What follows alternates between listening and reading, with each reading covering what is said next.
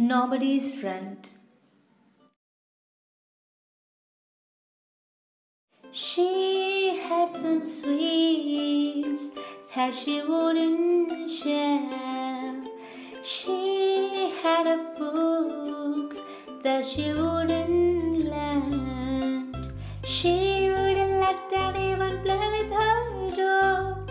She's nobody's friend. He some toffee and ate every week. He had a tricycle he wouldn't lend.